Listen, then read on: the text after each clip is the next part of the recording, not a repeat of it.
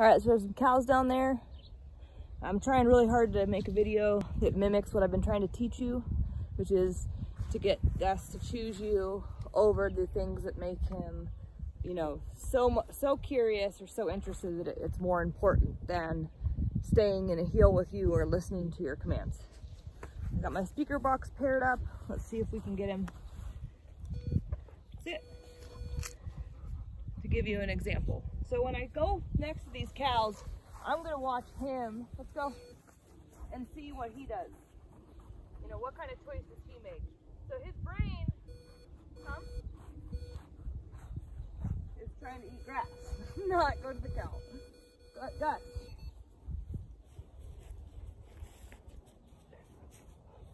Here.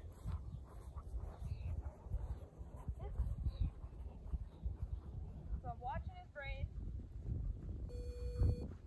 And now, right now, Gus, here. I'm not necessarily working him off the cows as much as I'm watching how his brain veers over to try and eat this long grass that's behind the fence. So if you really look at his head, it starts to go in that direction. I don't have a lot of in here, but he's headed that way, and I'm headed straight.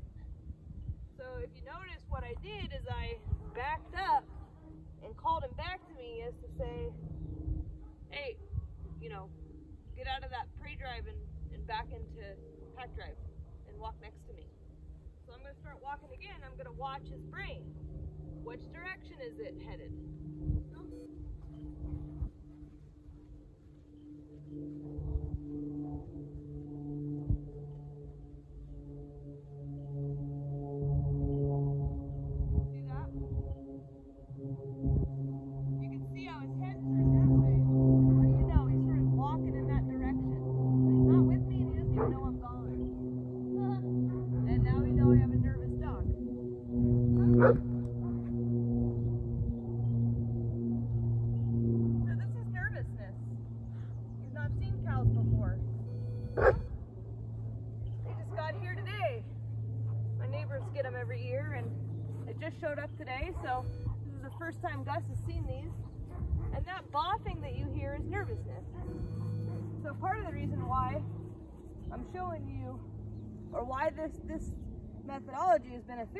Because we can help dogs with their nervousness by showing them that if they're with us and next to us, that we'll take care of whatever might be scary to them and they can just relax and hang out with us. That's the beauty of having an opportunity like this and instead of like, oh my god, why are you barking? Or, oh no, guys, no! It's, hey, why don't you create some more distance where you're a little more comfortable and observe this um, in a more neutral and curious way instead of in, a, in an aroused, over adrenalized, nervous way, right? So I'm going to walk towards the cows again and I'm just going to kind of observe is his brain sticking with me or is it headed towards the cows? If I started heading, if it starts to head towards the cows, then I'm going to back up and I'm going to either do a recall or a let's go to remove him and, and help and start all over again to show him, no, what I want is for you to walk with me. I don't want you to run towards the cows. So that's what we're trying to say to him. That's the message we're trying to deliver. I want you to stay with me. I don't want you to run at the cows. But if you run at the cows, I have to start over again so I can repaint the picture that I'm looking for. I need to show the brain what it is that I'm looking for. I can't just pull or tug or just walk through it because that won't teach him anything, and if any, and it might actually make him a lot more nervous, right? So I'm gonna start going. Let's go.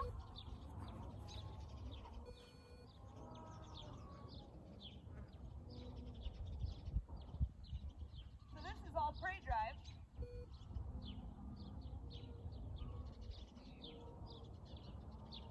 When his head, when his head perches up like that and his ears flare out, his forehead scrunches up a little bit. Now he's air scenting. So I just kind of want to show you, you know, on physically what that might look like. But I, what I was trying to tell you with the midweek is that when they're in prey drive, you know,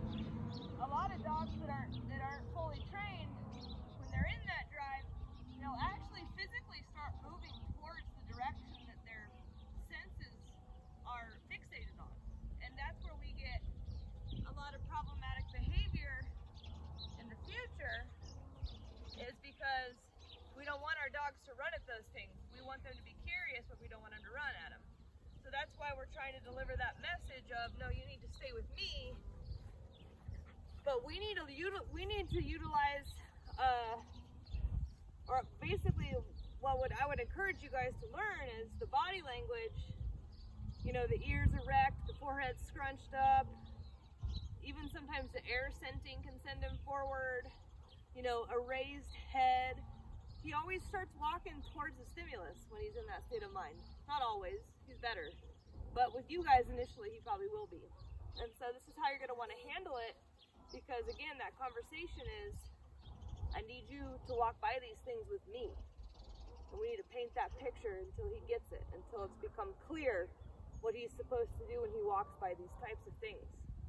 Let's go.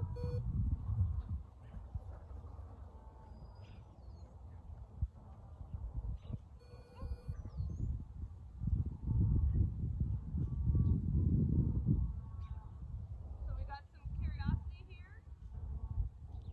Right? Now, look- now look, the body is automatically headed towards it. So I'm going to call him back. That's confidence. That's nervousness. And heckles too. Heckles on their back. That's usually a sign of nervousness or insecurity. Right? Let's go. So I want to instead of I don't want to correct that. I just want to direct that and show it what show him what to do with that energy because uh, you know it's not a very productive thing to correct nervous energy. It's better to direct it. Gonna watch him. There we go. Now that energy's starting to head there.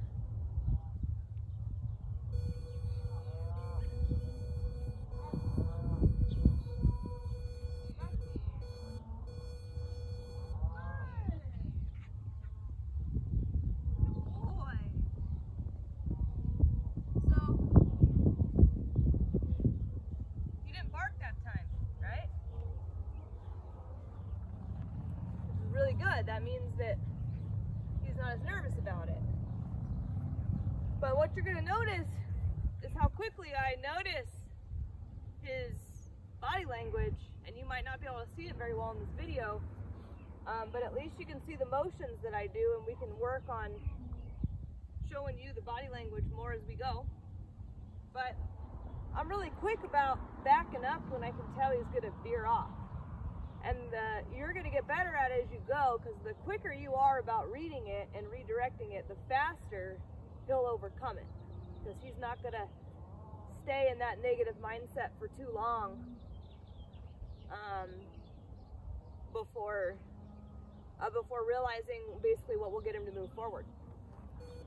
So, which a lot of what he's doing is not negative, you know, this is general curiosity, but I need to uh, you know, this is good from the nervous factor and just using something that lures him out um, to show you how to handle, you know, that, that type of a situation.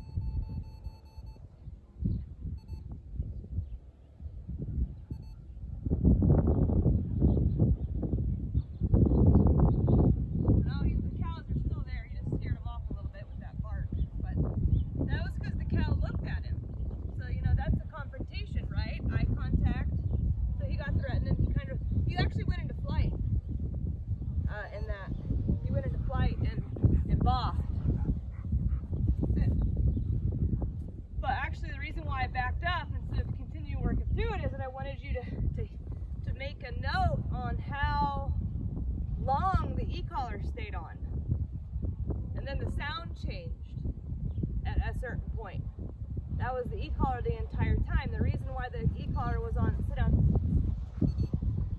The reason why the e-collar was on the entire time is because he wasn't responsive to it.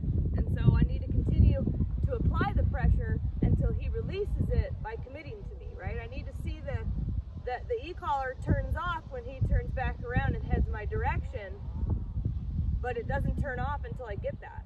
And that's he's got to turn that pressure off. And I was going up a little bit at a time, giving him a few seconds to kind of see if could, he could feel it, and it, until he, it was like a it, that that sound change indicated that I was going up higher on my e-collar. So I probably, I was hoping to walk all the way by it because I knew I could with him. He's really good. He usually only takes about one session to get over things. But they all moved over there, so I don't, I don't see it being challenging at all, all for him to just walk down this hallway. But we'll go ahead and do it. End on a good note. Hey, I didn't say get up.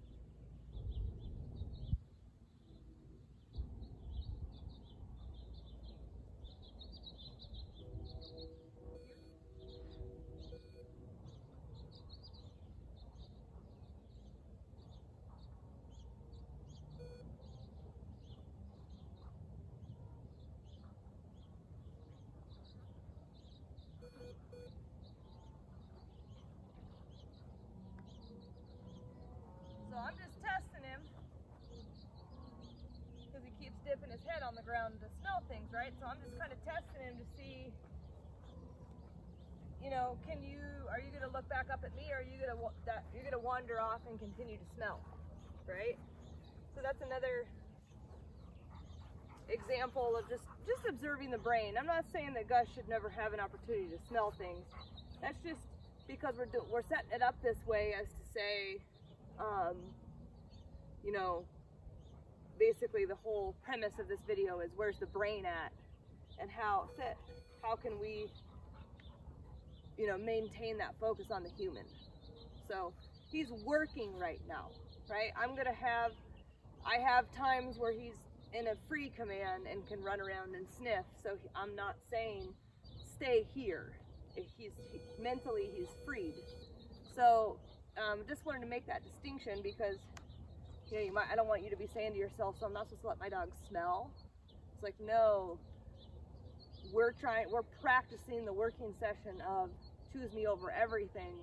We can free him to go smell, you know, uh, in different areas of the day, but it's not this session. So when you saw me stop, Gus, sit. Need to work on our sit stay and grass. It's not very good. Um, so when you saw me in the video stop and there was no um, command or e-collar speaker box, that was because I was giving him an opportunity to make a choice. So I'm stopping, but I'm giving him a little, you know, giving him a couple seconds to see where he's gonna go. Are you gonna wander off or are you uh, gonna choose to stay next to me? And every time I um, most of the time he chose to come come back to me on his own and just go into that heel position. Um, but in the times that he didn't, here, here,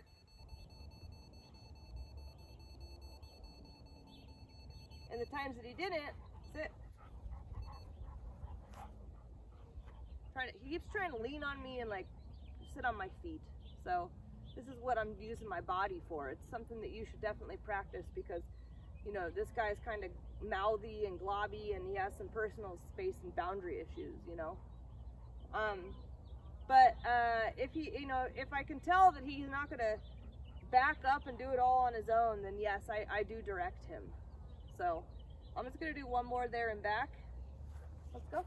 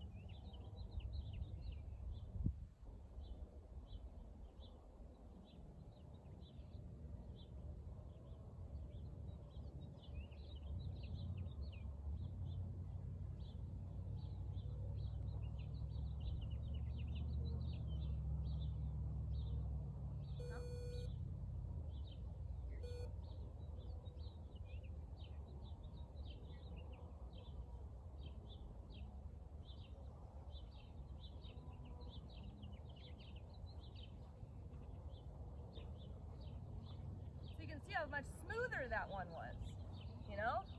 Like, even after the cows left, I had to do some long line work down that hallway. Um, and then, you know, that last one, I only had to use my e-collar a couple times to remind him what he's supposed to be doing. So, and there actually one of them was a leave it, sit, because he was trying to put a stick in his mouth, and the other one was a because he veered out to go investigate something. So um, this is a great example of how to pay attention to the brain, you know, back up when you see that he's, you know, bail on him when you see that he's bailed on you, recall him or let's go him, and just continue to work him through. And I really set it up like a straight line, back and forth and back and forth and back and forth just to continue to kind of press into him what it is that we're looking for, but also sit. You go potty? Go potty. Try and press into him what it is that we're looking for. Um, and paint that picture that I'm looking for, you know, of choosing me over everything. Um, so hopefully that kind of clears up what we were trying to do with Owen the other day when he and I were making lots of noise and being goofballs. This is what I was trying to get at, was if you pay attention to the brain and redirect it over and over and over again, you can walk by that chaos and he's going to ignore it. And this is something I would highly I would highly advise you practice on a daily basis because you have a lot of, he gets worked up about stuff and then you know, uh, having a kid in the house just kind of creates a whole nother layer of training because their energy is so intense and different than an adult's that it's more work.